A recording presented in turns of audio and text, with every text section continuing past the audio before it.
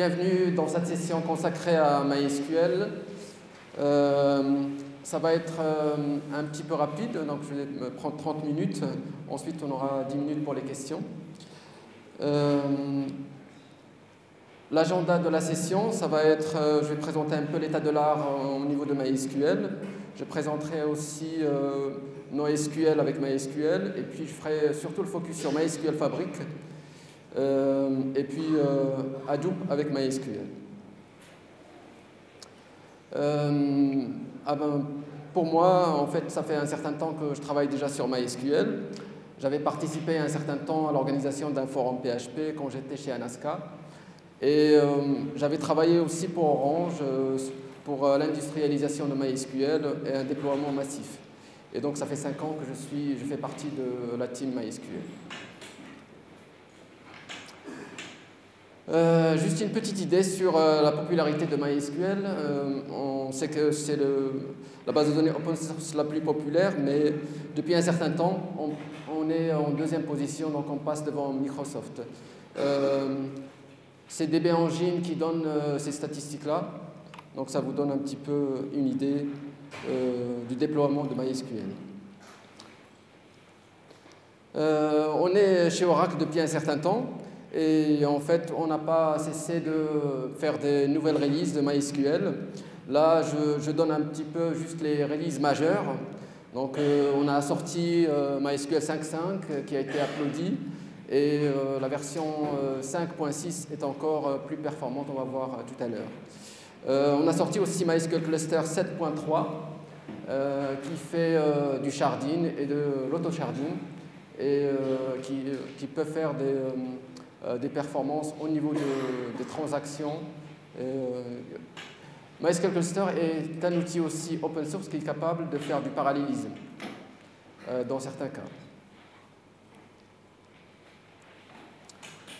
Donc pour les versions GPL, en fait, on a le serveur MySQL, on a MySQL Cluster, en fait, c'est pas très connu, c'est open source aussi, vous avez le code source, vous pouvez le, télécharger et le modifier si euh, si ça vous intéresse. Ce qu'on a sorti euh, récemment, c'est MySQL Utilities, donc euh, c'est quelque chose qui est nouveau aussi, ça permet de faire de l'industrialisation de MySQL. et aussi MySQL Fabric. Donc c'est des nouveaux outils open source qui ont été créés depuis qu'on on fait partie d'Oracle. il faut savoir que la version MySQL 5.6 est supportée jusqu'à 2021 et on vient de sortir aussi la version 5.7.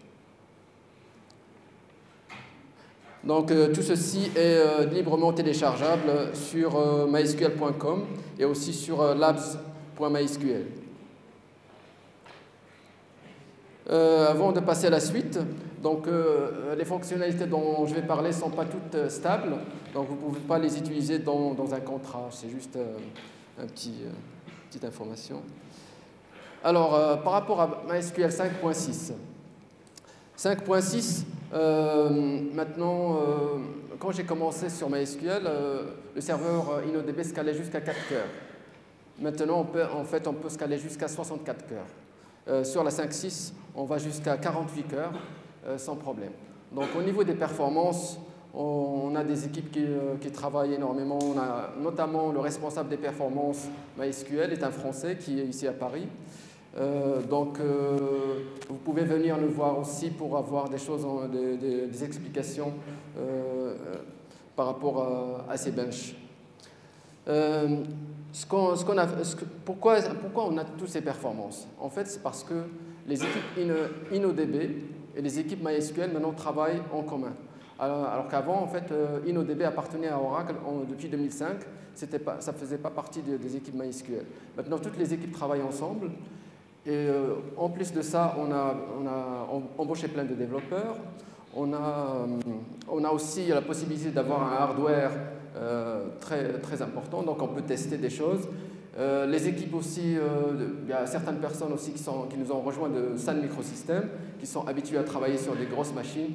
Donc c'est ce qui, explique un peu les, performances qu'on, obtient avec MySQL actuellement.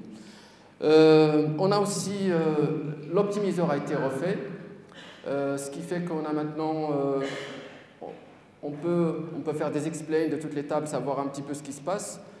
mais, aussi on peut avoir ce qu'on appelle l'optimizer trace. Donc c'est ce qui va vous dire pourquoi le serveur MySQL a choisi un plan d'exécution. Donc c'est quelque chose qui est important, qui va rajouter encore la visibilité l'explication de ce que fait le serveur MySQL. Et donc c'est un outil aussi qui nous permet aussi d'optimiser encore plus les performances du serveur MySQL. On l'utilise pour nous, mais aussi donc c'est disponible pour tout le monde. Euh, au niveau de la réplication, la réplication c'est quelque chose aussi qui a été euh, énormément optimisé. C'est crash safe maintenant. Ça veut dire que dans, certains cas, euh, avant, on pouvait, euh, on avoir des problèmes sur, sur la réplication parce qu'il y a un problème réseau, quelque chose comme ça. Maintenant, on a rajouté des fonctionnalités comme le, comme le, le checksum. Donc, ça permet de, de, de valider, de voir euh, en fait, les, enregistrements qui sont envoyés sur l'esclave. Sur on regarde le checksum et s'il y a un problème, on va rechecker automatiquement les données du maître. On a rajouté dans la 5.6 ce qu'on appelle le Global Transaction ID. Donc le Global Transaction ID, ça permet d'avoir un ID unique pour, une transaction et qui va être unique sur tous les serveurs. Donc on peut savoir exactement où est-ce qu'elle est notre transaction quand, elle, est, quand, elle, a, elle, a, été écrite sur le master. On peut savoir où est-ce qu'elle en est. Donc du coup, on peut faire ce qu'on appelle le failover automatique. Ce qu'on ne pouvait pas faire avant, euh, étant donné qu'on n'avait pas cette, euh, cette, notion de Global Transaction ID. On a beaucoup de fonctionnalités, je ne vais pas aller dans les détails. Euh, ce, qui était nouveau aussi, c'est qu'on a ce qu'on appelle performance schéma. Donc performance schéma, c'est quelque chose qui permet d'avoir, de savoir vraiment ce qui se passe de manière plus précise sur le serveur MySQL. On peut savoir maintenant quand un index n'est pas utilisé, on peut, le savoir grâce à performance schéma. Donc on sait qu'un index peut être, euh, il est utile pour, certaines requêtes, mais pour les transactions, pour les écritures, euh, il, peut poser des problèmes. Donc on, peut savoir par exemple aussi ce qui était difficile à, savoir, quand vous avez beaucoup de tables temporaires qui sont écrites sur disque, euh, vous ne pouvez pas savoir exactement quelle est la requête qui a généré cette table temporaire. Avec Performance Schéma, maintenant, vous pouvez trouver la requête qui a généré votre table temporaire sur disque. Donc, ce qui permet d'aller optimiser directement le code. On a maintenant sur 5.6 donc l'accès non SQL qui est stable, donc vous pouvez utiliser. Toutes ces fonctionnalités sont stables et sont supportées. Euh, donc euh, on a rajouté l'accès non SQL à InnoDB, donc ce qui nous permet de faire des accès clés-valeurs euh, de, manière, de manière à... donc on a plus de performance encore, et ce qui, ce, qui, nous permet aussi d'avoir une stabilité, puisque InnoDB c'est un moteur acide, donc ça veut dire que quand on commit on a une, la donnée est sur disque. Elle est écrite au moins trois fois, donc euh, vous ne perdez pas de données quand vous, avec InnoDB. Euh, donc, euh, et vous avez la possibilité d'utiliser aussi SQL pour les jointures. Donc vous avez le meilleur des deux mondes en passant par Memcache. Memcache est très utilisé dans le web, donc c'est quelque chose aussi qu'on a optimisé, qu'on a intégré dans avec le serveur InnoDB. Euh, juste euh, par rapport à MySQL Cluster, on a aussi plein de... MySQL Cluster, c'est un outil, euh, c'est un moteur NoSQL depuis déjà bien avant 2006. Donc, c'est un, accès natif NoSQL. Donc, ce qui permet d'avoir des performances encore plus, plus grandes. On a des billions de transactions par minute qu'on peut avoir avec MySQL Cluster. Euh, parce qu'il est nativement non SQL. Donc euh, on a rajouté euh, SQL sur MySQL Cluster en 2006. Donc voilà, MySQL Cluster, c'est un moteur donc, qui fait l'auto-sharding, ça veut dire qu'il va faire le sharding automatique pour vous. Vous créez une table et elle va être distribuée automatiquement sur plusieurs machines. Euh, donc ça, fait aussi euh, ce qu'on appelle euh, global replication. Donc quand vous, avez, vous pouvez faire l'actif-actif et la gestion des conflits. Ça veut dire que vous pouvez avoir un cluster en Europe, un autre cluster aux États-Unis, et vous pouvez, s'il y a des conflits, vous pouvez faire de l'actif-actif, et si jamais il y a une mise à jour qui se fait en même temps sur deux data centers, il est capable de, détecter ces conflits et de les gérer soit automatiquement, soit manuellement. Il vous, permettra de, faire ce genre de choses. Euh, ce qui et c'est quelque chose qui existe déjà depuis longtemps euh, sur MySQL Cluster. Ce qu'on a rajouté dernièrement dans la 7.13, c'est l'auto-installeur. Donc l'auto-installeur, c'est open source aussi. vous pouvez le télécharger et euh, tout de suite installer un cluster. En moins de 15 minutes, vous avez un cluster qui est installé. Donc c'est quelque chose euh, euh, qui, est important pour nous. On a aussi, on, intègre maintenant MySQL Cluster avec MySQL 5.6, ce qui vous permet d'avoir un moteur InnoDB et un moteur MySQL Cluster. Donc vous pouvez mixer les, deux moteurs et ce, qui va nous, donner en fait euh, quand vous prenez un, nœud, euh, un nœud euh, MySQL cluster, il peut scaler jusqu'à 32 cœurs actuellement. Donc, et sur un, sur un cluster, on peut avoir 254 nœuds. Donc 254 nœuds et chacun il peut, peut scaler jusqu'à 32 cœurs. Donc vous imaginez la puissance que vous avez avec un, avec MySQL cluster. on a aussi l'accès maintenant JavaScript avec Node.js euh, directement sur, euh, sur MySQL Cluster. Euh, on vient de sortir donc la version 5.7. donc la, version 5.7.2 est basée sur la 5.6. On a rajouté aussi des optimisations sur performance schéma. Et on peut maintenant aussi faire des explains sur des, des, requêtes en ligne. C'est-à-dire s'il y a une requête qui s'exécute, on peut voir son plan d'exécution pendant qu'elle s'exécute. Donc c'est quelque chose qui est nouveau aussi. Donc, euh, ce qui est important dans la version 5.7, c'est au niveau des performances. C'est vraiment quelque chose de fantastique parce que maintenant, on, arrive à 500 000 requêtes secondes avec 5.7. Donc c'est quelque chose que, vous pouvez déjà tester. Euh, vous avez ici euh, Dimitri donc, qui, a, qui, a fait, qui a fait ces performances-là et vous avez un, blog qui explique comment on est arrivé à ces, à ces résultats-là. Donc ça, c'est sur une machine avec une grosse RAM. Donc il faut savoir que là, on est sur une machine avec 64 cœurs, euh, avec 256 euh, Go de RAM. Donc c'est vraiment, il faut, avoir de la RAM pour, pour avoir des performances aussi grandes. Euh, MySQL travaille aussi avec des, gros sites internet comme Facebook, Google. Avec Google, on avait travaillé sur la réplication semi-synchrone, donc vous pouvez avoir une réplication un peu optimisée. Avec Facebook, on a travaillé sur, euh, sur les connexions des connexions. Donc du coup, euh, euh, on a intégré des fonctionnalités nouvelles qui, nous permettent d'avoir encore plus de performance. Pour Memcache, c'est quelque chose qui vient d'être annoncé il y, a, il y a deux semaines. Euh, on, arrive, euh, on, arrive à des, requêtes qui, dépassent les, millions de requêtes par seconde. Donc qu'on a optimisé encore euh, les accès non SQL pour avoir des, performances impressionnantes. C'est quelque chose qui vient d'être annoncé, donc vous allez avoir un blog qui va vous expliquer les détails en fait, de, ça. On va faire une conférence le 5 décembre et vous pouvez venir et Dimitri sera là, il vous expliquera encore plus dans les détails euh, ces résultats. Donc euh, c'est aussi sur des grosses machines, donc c'est une machine avec 256 Go de RAM euh, sur Oracle Linux avec 8 sockets. Ce qu'on a aussi annoncé aussi dans, le MySQL Connect, c'est multi-source réplication. Donc on a vu, euh, ben, ce matin Serge vous a parlé du, du, Sharding. Euh, en fait, il y, a, une solution qui vous permet d'avoir des réplications cross-sharding. Donc ça, cette solution va, vous permettre de, euh, si vous avez plusieurs serveurs qui sont répliqués sur un, slave, ben, vous pouvez exécuter n'importe quelle, jointure dessus. ça vous permettra aussi de faire du reporting pour, de manière globale. Donc euh, c'est quelque chose aussi qui est nouveau. Euh, sur MySQL, avec InnoDB, on n'avait pas cette option. Sur MySQL Cluster, ça existait déjà. On pouvait avoir plusieurs sources au niveau de MySQL Cluster. Mais pour InnoDB, c'est quelque chose qui est nouveau. Donc euh, on vient d'annoncer aussi MySQL Fabric. Alors c'est quoi MySQL Fabric? D'abord, c'est un outil open source. c'est un système intégré pour gérer des collections de serveurs donc c'est extensible, c'est facile à utiliser et ça supporte euh, la haute disponibilité et le sharding. Euh, pour l'architecture de, MySQL Fabric. Donc ici, on a euh, au centre, vous avez les applications.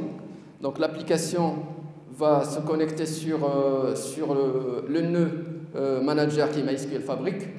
Et ce nœud-là contient toute l'architecture du Sharding et, des métadonnées par rapport à la haute disponibilité. Ensuite, euh, MySQL Fabric va donner les informations au, connecteur et le connecteur, après, va se, connecter sur le shard euh, qui lui permet euh, d'avoir les requêtes, de poser les requêtes et de récupérer les réponses. Donc, vous avez aussi, donc, dans chaque shard est responsable de la haute disponibilité. Ça veut dire que ici, si je prends le premier shard, vous avez trois serveurs. En fait, ces, trois serveurs, ils sont par défaut, ils sont master-slave. Euh, donc vous avez un InnoDB, par exemple, des InnoDB à l'intérieur. Quand, euh, quand un, comme on a, parlé de ce qu'on appelle le Global Transaction ID, le Global Transaction ID va nous permettre de, euh, de gérer en fait, le failover automatique entre un master-slave. vous, n'êtes pas obligé bien sûr d'avoir InnoDB, vous pouvez avoir une autre forme de, haute disponibilité. Vous pouvez avoir un, MySQL cluster qui est dans un nœud, vous pouvez avoir autre chose. DRDB, etc. Donc c'est assez, euh, assez hétérogène. Euh, on a l'opérateur qui, euh, qui, est à droite qui va, qui va gérer les, les, shardines en fait. quand vous avez mis en place un shardine, au bout d'un certain temps, il se peut que le shardine est à, est à, est à mettre, à jour. On peut par exemple dire qu'on va splitter un shardine sur, sur, d'autres ou faire un mouvement d'un shard vers un autre serveur ou ajouter des, serveurs sur un, groupe, etc. Euh, MySQL Fabric euh, a, sa, propre base de données. Donc, euh, base de données peut être MySQL Cluster, donc, parce que c'est quand même un nœud très important. Si ce nœud-là disparaît, en fait, vous, vous n'aurez plus accès à, à toute, l'architecture. Donc, c'est ce nœud-là qu'il faut, vraiment il faut mettre, c'est une bonne pratique, c'est de le mettre sur MySQL Cluster directement. Euh, ben, au, niveau du sharding, le sharding actuellement euh, supporte deux fonctions. C'est de fonction range et hash. Donc vous pouvez choisir euh, ces, deux, ces, deux, fonctionnalités. vous pouvez bien sûr faire des moves, des splits, etc. le connecteur, il supporte les transactions il supporte toutes les, toutes les requêtes SQL. Euh, le, les décisions sont faites au niveau du connecteur. Donc, ce qui fait qu'au niveau des performances, ça, optimise les performances, étant donné que euh, ça permet d'éviter euh, d'éviter les allers-retours entre Fabric et, et les, serveurs MySQL. On a, on a aussi implémenté le cache sur le connecteur, ce qui permettra, quand on a récupéré les informations du, de Fabric, donc on n'est pas obligé à chaque fois de se reconnecter à Fabric pour, euh, pour avoir euh, les informations sur, euh, sur les shards. Donc le sharding actuellement n'est pas automatique sur MySQL Fabric, mais c'est quelque chose qui va être automatique dans, dans, le futur. On a ce qu'on appelle aussi les global updates, c'est-à-dire que vous n'êtes pas obligé de sharder toutes les, toutes les tables. Vous pouvez dire cette table-là, je vais la, je vais la charder, et celle-là, je vais la mettre de manière globale. On va voir comment ça marche.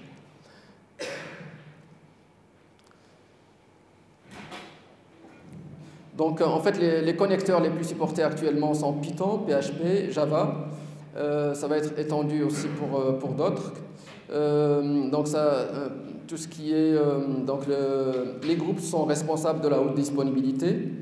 donc les, les fabriques euh, les nœuds de fabrique sont euh, managés, donc font les, maintiennent les métadatas, les interfaces et les procédures. Donc c'est un peu comme un manager, euh, un manager de, tout le cluster. Au niveau de la haute disponibilité, donc j'en ai, ai, déjà parlé, chaque, chaque groupe est responsable de la haute disponibilité, donc c'est lui qui implémente la haute disponibilité. Et puis après, il va dire, il va, on va décider euh, de gérer la haute disponibilité par fabrique, ou bien le, groupe lui-même peut gérer sa propre haute disponibilité.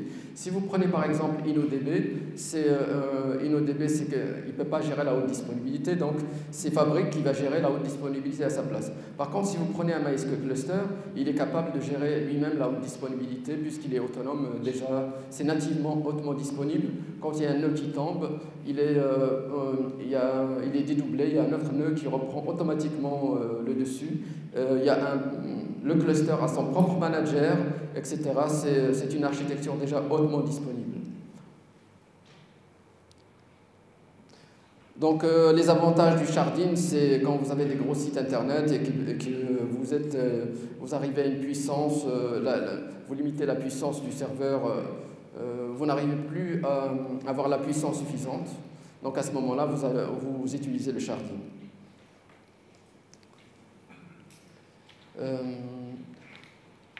Donc pour tout ce qui est sharding, c'est quelque chose, on a déjà pas mal d'expérience là-dessus étant donné qu'on a, on a MySQL Cluster qui fait déjà le, sharding, on a plein, de, clients, la communauté aussi qui a implémenté son propre sharding, et nous, on va s'inspirer de toutes ces... Euh, euh, on va travailler avec toute, la communauté, avec tous ceux qui ont euh, utilisé le sharding, on s'inspire d'eux et, on, va créer quelque chose qui est extensible et le plus général possible.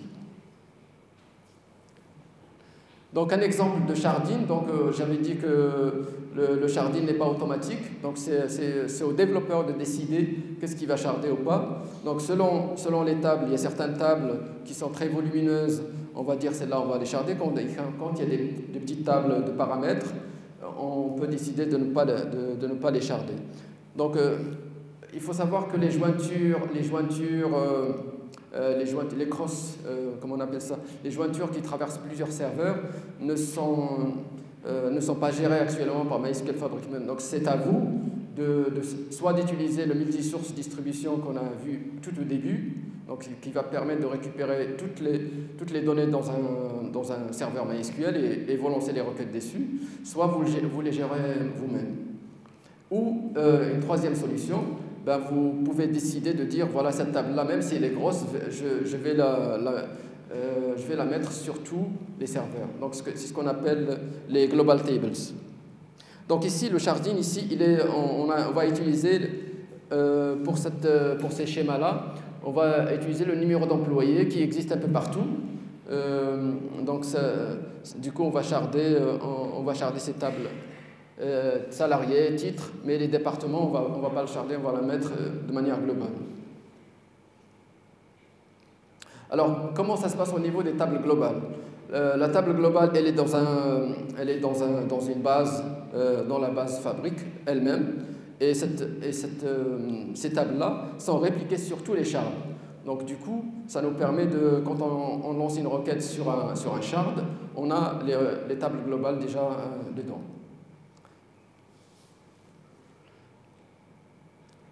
Alors, comment, comment ça marche? Donc, euh, euh, y a, on, va faire l'installation du, MySQL Fabric. Il y a le start-stop classique. Euh, vous pouvez créer un groupe, donc ajouter des serveurs à un groupe. vous pouvez dire à un groupe je veux que MySQL Fabric gère la haute disponibilité. donc là, c'est Activate. Donc, euh, on supporte euh, les transactions. Quand il y a l'employé, euh, le numéro d'employé, quand il est dans une requête, le connecteur sait où est-ce qu'il va, va lancer la requête. Donc, on supporte SQL, on, supporte aussi avec PHP le read-write split. donc, il y a le connecteur euh, native MySQL qui, permet de gérer ce, genre de choses. Euh, actuellement, on a aussi euh, les frameworks Fabric, et, non, les frameworks Doctrine et Hibernate qui sont gérés. Donc vous pouvez utiliser ces frameworks déjà de manière transparente. Comment ça marche au niveau de, des configurations? Vous avez php.iniv et, vous avez un fichier de configuration pour, pour Fabric. Donc php.ini, je pense que tout le monde connaît. Il y a, au niveau de, fabrique, il faut lui indiquer quel protocole euh, qu'on utilise. Actuellement, on gère le protocole euh, RPC pour le moment, mais on va ajouter d'autres protocoles. Il y a la base fabrique, ici c'est fabrique, l'utilisateur, etc.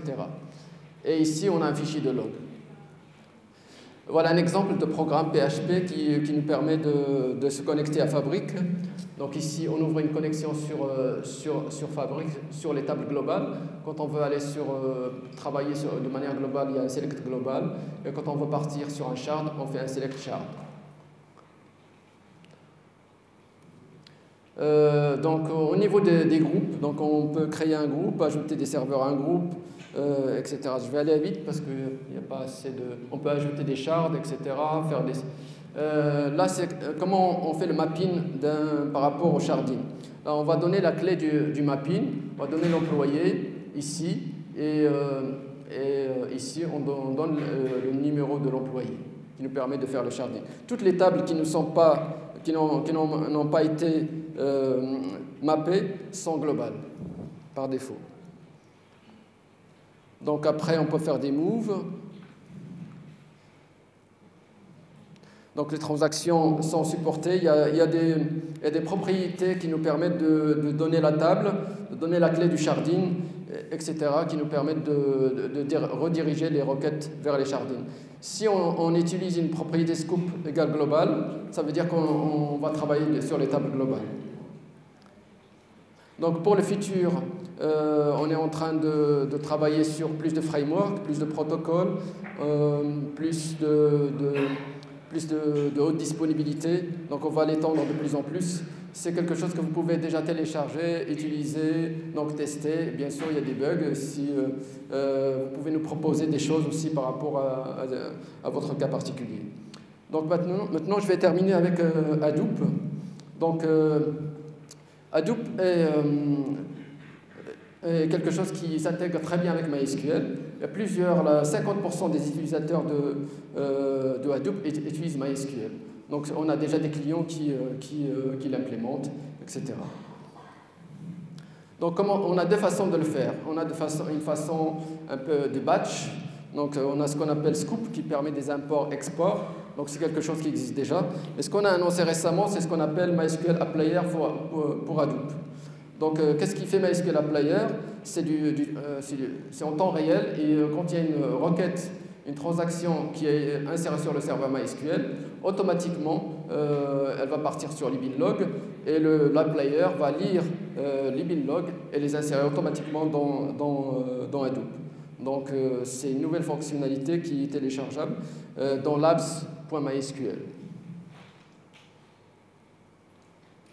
Donc, il y a une API euh, de HDFS qu'on qu utilise en langage C euh, qui nous permet de faire, de faire, euh, de faire des choses au niveau, au niveau binlog. Et avec les binlogs, on, on cherche les, les, les, lignes qui ont été rajoutées, etc. Donc on a comment, comment ça se fait pratiquement? Il faut rajouter, créer une table correspondante sur, sur Hadoop avec, en rajoutant un champ timestamp c'est ce champ timestamp qui va nous permettre de savoir où est-ce qu'on en est et de rajouter des choses, euh, de rajouter les données qui ont été insérées sur le serveur MySQL. Donc du coup, on va avoir des databases sur MySQL et, euh, et les, fichiers correspondants sur, euh, sur, le, sur Hadoop, de manière à faire euh, les, euh, les, les, interfaces entre les deux. Donc vous pouvez aussi bien sûr euh, passer de Hadoop, quand vous avez fait les calculs dans Hadoop, de remonter avec, sur MySQL les, résultats. Voilà, on a plein de documentation sur, sur MySQL Fabrics. On a aussi quelques blogs sur Hadoop. Euh, bien sûr, sur euh, euh, tout ce qui est... On a, on a trois développeurs qui travaillent sur, sur PHP. On a Ulf Wendel, par exemple, qui, qui travaille sur, sur l'intégration entre PHP et, et, et, pardon, et MySQL Fabric. Donc, pour résumer, donc la, la version 5.7 ajoute des performances extrêmes donc, par rapport à ce qu'on a fait jusqu'à présent. Euh, on arrive avec euh, la version 7.3, donc on a la haute disponibilité, l'auto-sharding déjà dans MySQL Cluster. Euh, vous avez aussi l'accès NoSQL et SQL sur InnoDB, mais aussi sur, sur NDB. NDB, c'est Network Database, donc c'est MySQL Cluster, et vous pouvez mixer les deux. Donc vous pouvez à la fois mixer NoSQL, InnoDB, NDB, Vous avez aussi sur, sur NDB plusieurs façons de se connecter sur, de manière non SQL, soit avec, le, avec même avec Apache. Il y, a, au moins 4, 4 API pour se connecter sur NDB, non SQL. Donc ensuite, pour l'industrialisation, pour gérer des collections de serveurs, vous pouvez utiliser maintenant MySQL Fabric. Et, et si vous avez besoin vraiment de Hadoop, bah, vous pouvez faire aussi l'intégration avec Hadoop. Voilà. Euh, donc, euh, merci beaucoup. Donc, euh, avant de finir, on a un MySQL Tech Tour le 5 décembre.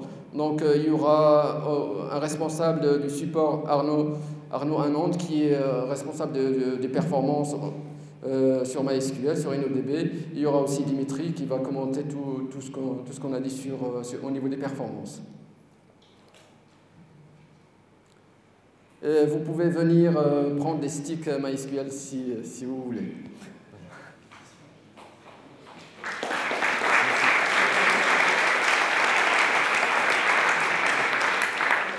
Euh, si vous avez des questions.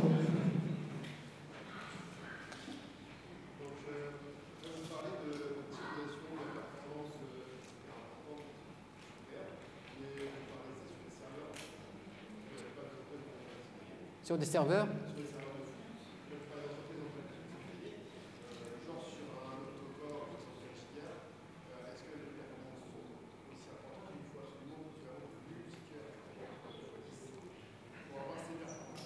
Non. En fait, dans mon expérience, il y a beaucoup de, clients qui, euh, euh, avant j'étais consultant, donc j'allais euh, chez, chez, les clients, des fois on installait des serveurs et c'était pas évident. Donc il fallait faire du consulting, adapter des choses et refaire les requêtes. Maintenant, je vais chez les clients, ils installent juste la version 5.5 ou 5.6, ils adoptent tout de suite. Ils ne reviennent même pas, ils posent même plus de questions, même sur des, sur des, installations de base. Maintenant, il faut, avoir, un minimum de RAM pour que ça... Il y, a, aussi des nouvelles configurations, en fait. Il y a quelques, quelques, quelques optimisations, mais c'est vraiment très peu par rapport à ce qui existait avant. On a quelques paramètres euh, supplémentaires qui permettent de, faire des choses importantes. Euh, oui, oui c'est vraiment le corps qui a été modifié. Et euh, il faut savoir que dans la version 5.5 et etc. avant, on est, les, fichiers de configuration, fait, les configurations par défaut n'étaient pas bonnes. Alors que la 5.6, en fait, les, optimisations sont faites non seulement au niveau du serveur, mais aussi au niveau des fichiers de configuration. Ça veut dire qu'avant, euh, sur la 5.1 sur la 5.1 et 5.5, vous pouvez avoir un journal de transaction qui est sur euh, l'ordre des 8, 8 mégas. Euh, en fait, 8 mégas, c'est vraiment pas du tout, c'est rien du tout. Alors qu'on peut aller jusqu'à 2 gigas sur, le, sur, les versions récentes. Donc c'est quelque chose qui est automatisé maintenant euh, dans la version 5.6 et donc euh, c'est vraiment euh, très performant. C'est révolutionnaire par rapport à ce qu'il y avait avant. Moi je connais, je, sais de quoi je parle.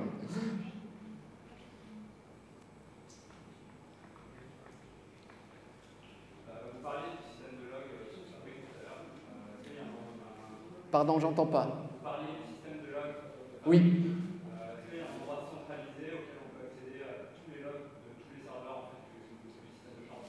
Euh, tous les logs de des chardines. Euh,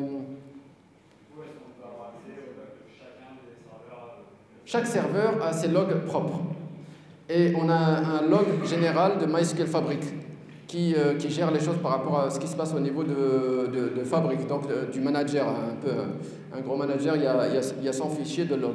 Mais chaque serveur MySQL, chaque, chaque, euh, chaque serveur a ses propres logs. Donc vous avez les, euh, euh, si vous avez les build logs, ils sont dedans. Si vous avez les general logs, etc. chacun, chaque, chaque serveur est indépendant en fait.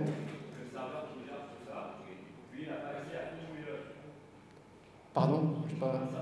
Le serveur qui gère tout ça, lui n'a pas accès à tous les logs de, tous les nœuds. Euh, non, le, le, le Fabric, c'est un manager. Il, gère, il gère la haute disponibilité. Il donne les informations par rapport, euh, à, tous les serveurs. Et le connecteur, lui, lui il, euh, il, va, il va envoyer les requêtes directement sur les serveurs. Donc c'est quelque chose qui est transparent en fait. Oui?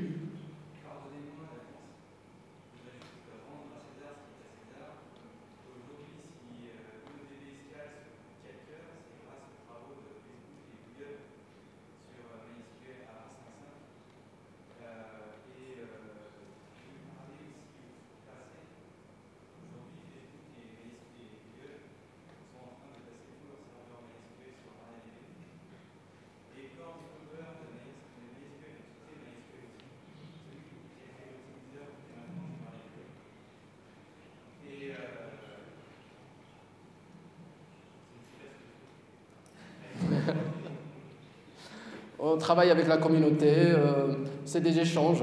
Là, je vous ai donné un exemple d'échange avec Facebook. C'est vraiment un travail avec Facebook, on est dans l'open source.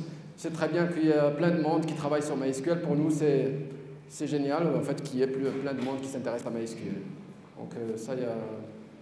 Nous, on reconnaît aussi les, travaux des autres. C'est quelque chose qui est les patchs et les, tests. Il n'y a, pas que, a, les développements, a plein de monde qui fait des tests, il y a plein de monde qui nous demande des choses. Ils nous demandent, ils nous poussent même, c'est pas qu'ils demandent, ils, ils, viennent en force. Donc euh, tant mieux pour MySQL. Merci. Euh, il y a une autre question?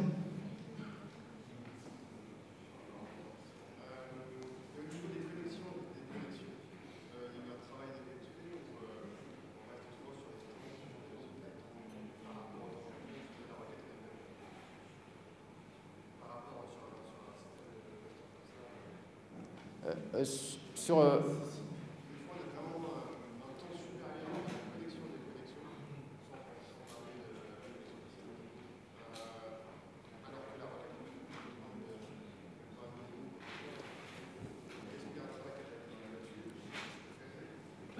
oui, en fait, c'est quelque chose qui était un petit peu comme un trou noir dans MySQL, c'est euh, tout ce qui est réseau et connexion des connexions. Et en fait, depuis qu'on utilise Performance Schema, c'est quelque chose qui nous a aidé aussi pour découvrir des choses au niveau des réseaux. Donc euh, c'est vraiment, euh, vous avez c'est une très bonne question. Euh, c'est quelque chose que, sur lequel on travaille, on a travaillé dans les dernières années en fait. C'est vraiment le gros trou noir qui était euh, qui existait et qu'on ne pouvait pas voir facilement avec tout ce qui est profiling, explain, etc. On ne voyait pas ça. Maintenant, on peut, euh, avec Performance Schema, aussi travailler sur au niveau réseau, puisque euh, on peut tracer la requête comment, quand elle a commencé, les phases, toutes les différentes phases qu'elle fait, depuis le serveur jusqu'au moteur. Oui?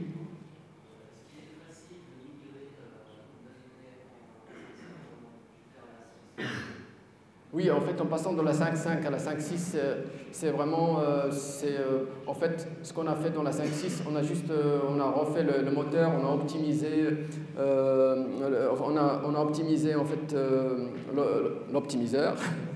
Et, en, fait, il n'y a pas beaucoup de changements entre la, 5.5 et la 5.6 au, au, niveau de, des requêtes, quoi. C'est surtout en fait tout ce qui est euh, mutex, tout ce qui est lock-in interne à InnoDB euh, qui a été euh, optimisé. Oui?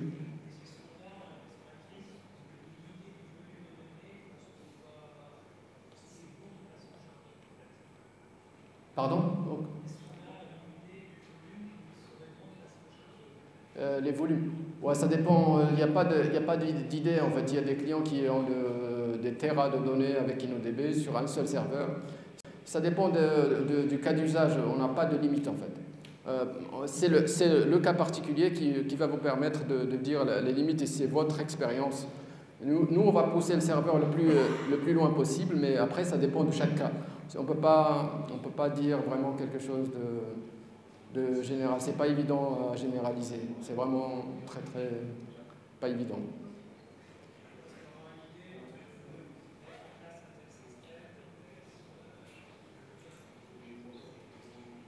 Euh, je ne peux, pas, je peux pas vous répondre là-dessus. Euh, en fait, si vous avez un cas particulier où vous avez vraiment des demandes de, performance, ben, en fait, Dimitri est, là pour travailler sur des cas vraiment extrêmes. Et ça nous intéresse de travailler sur des vrais cas, en fait, pas que des cas théoriques. Merci beaucoup. Alors,